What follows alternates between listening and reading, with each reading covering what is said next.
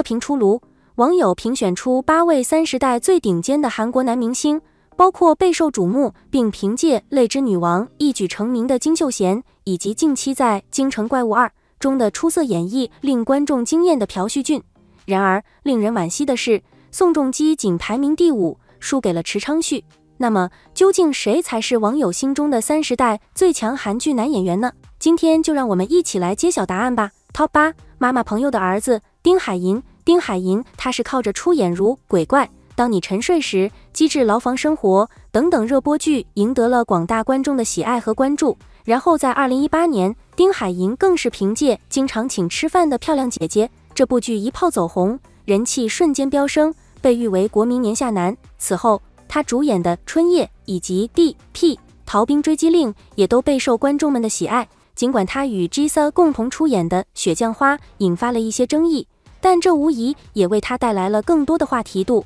然而，尽管丁海寅曾经因为《机智牢房生活》、经常请吃饭的漂亮姐姐等剧集收获了大量粉丝，但是近年来他的声势似乎没有像其他同期男演员那样保持稳定的增长。他之前的作品的火爆程度也无法与其他人相提并论，所以这次他只排到了第八位。不过，值得庆幸的是，今年丁海寅将会与廷兆文联手打造他们出道以来的首部浪漫爱情剧《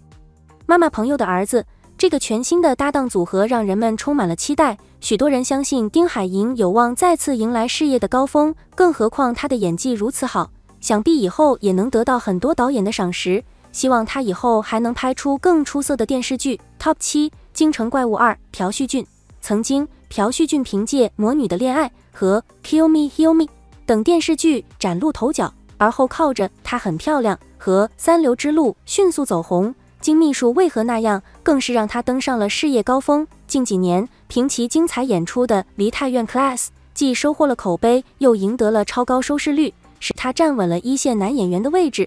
无论国内外，都备受观众们的热烈追捧。他拍的电视剧收视率都很高。然而，朴叙俊并不满足于此。近年来，他积极寻求突破。继《梨泰院 Class》创下佳绩之后，他在今年再次带来了全新力作《京城怪物》。然而，这部作品的评价却是两极分化。对于朴叙俊在剧中表现的评价也是众说纷纭。有人认为他还带有成名作《金秘书为何那样》中角色李英俊的影子。甚至有观众直接批评他面瘫，这无疑给朴叙俊的声誉带来了一定影响。目前他在排行榜上仅排名第七位，Top 六。问问星星吧，黎明稿。黎明镐可是全球瞩目的韩剧男神，他过去主演的《花样男子》《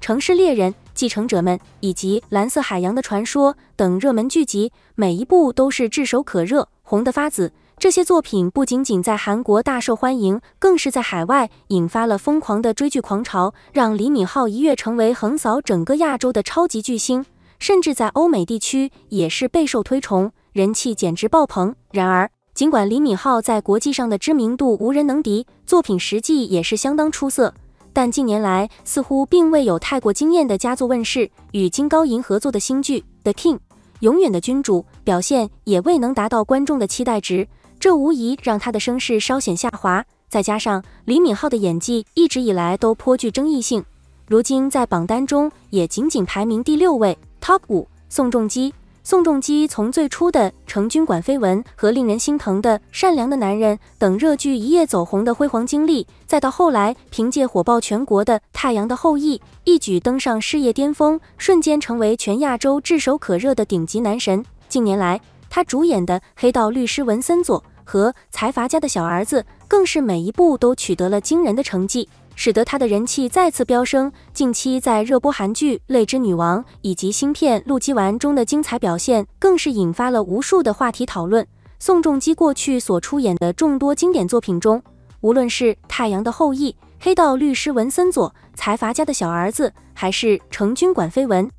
善良的男人无不获得了观众们的热烈反响和高度评价。然而，尽管他的作品实际如此出色，但他的演技却并未得到广大观众的完全认可。尤其是在最近爆红的新作《财阀家的小儿子》中的表演，甚至还引来了不少争议。Top 四，江南 B side，池昌旭。池昌旭早年因为出演了《齐皇后》和《Healer》这两部热播剧，瞬间爆火，成为超级人气韩国电视剧男神。海内外粉丝无数。他主演的众多好剧包括《爱在大都会》《说出你的愿望》等等，也都广受赞誉。而就在今年初，池昌旭凭借新剧《欢迎回到三达》里再次人气飙升。他在剧中饰演的气象预报员赵荣碧一角，深情款款的形象让人无法抗拒，人气再次达到巅峰。池昌旭曾经塑造了《齐皇后》《Healer》等经典佳作，他之前主演的。《爱在大都会》说出你的愿望，《恶中之恶》等剧集也备受观众喜爱。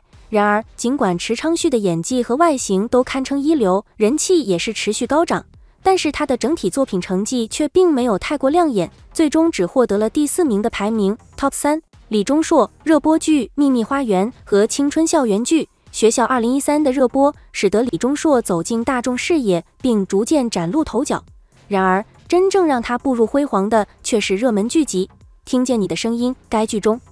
李钟硕出色的演技赢得了观众们如潮水般的好评，也因此一跃成为炙手可热的大势男明星，人气飙升的如同火箭般迅速。随后，他主演的《W 两个世界》《罗曼史是别册附录》以及近期的《黑化律师》同样备受瞩目，使得李钟硕稳坐韩剧男神的宝座。回顾李钟硕的演艺之路。他的每一部作品都堪称经典，无论是《学校二零一三》《听见你的声音》《皮诺丘》，还是《W 两个世界》《当你沉睡时》，以及最近的《黑化律师》，无不引起热烈反响。作品的国民度极高，演技更是得到了广泛的认可。尤其是在《黑化律师》中，他的反转演技更是令人叹为观止。尽管李钟硕已经有一段时间没有推出新的作品。但是广大观众对他的演技和作品成绩依然给予高度评价。如今，他更是凭借着卓越的表现，位列三十代最强韩剧男演员榜单的第三名，Top 二。泪之女王金秀贤，金秀贤凭借其在《Dream High》中的出色表现，迅速崛起，成为韩国娱乐圈中如日中天的新生代演员。而凭借着《拥抱太阳的月亮》这部国民级电视剧，他的人气更是直线上升。之后，他又通过《来自星星的你》这部风靡全亚洲的热门剧集，成功登上了职业生涯的巅峰。在这部剧中，他饰演的都敏俊一角，无论是演技还是颜值，都得到了观众们的高度赞誉，更是让他一举成为风靡亚洲的韩流巨星，在国内外都赢得了极高的人气。最近，金秀贤再次凭借《泪之女王》引起了广泛关注，她在剧中再次展现了自己细腻入微的演技。情感变化丰富且富有层次感，使得她的表演备受好评，人气再次达到了新的高峰。尽管金秀贤出道以来的作品数量并不算多，但是从她的首部作品《Dream High》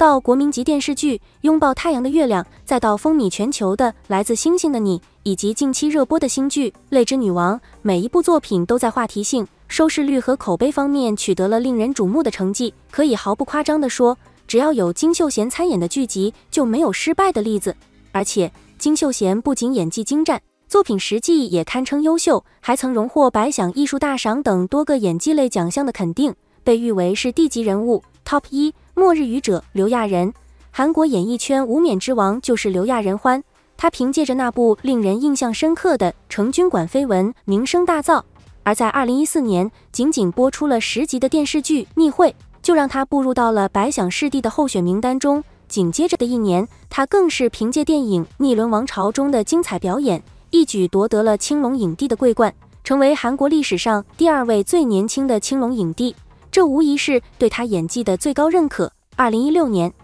刘亚仁再次以其在经典古装剧《六龙飞天》中的出色表现，成功摘下白想视帝的荣誉。随后的几年里，他在《私道》《辣手警探》。和《收尸人》等影片中的精湛演绎，使他赢得了白想影帝、青龙影帝以及亚洲电影大奖影帝等多项殊荣。刘亚仁的代表作《成均馆绯闻》和《六龙飞天》在韩国观众心中有着极高的地位，而《密会》和《芝加哥打字机》尽管题材相对较窄，却也获得了极好的口碑。然而，尽管他的作品热度可能不及同期的金秀贤和黎明镐等人，但是在演技和获奖方面，他绝对是当之无愧的王者。然而，遗憾的是，近年来刘亚仁陷入了染为禁物丑闻，导致他的事业一度跌至低谷，甚至还影响到了他即将于四月份上映的新剧《末日愚者》的成绩。这样的丑闻让很多喜欢他的人都非常失望且伤心。毕竟在很多人眼中，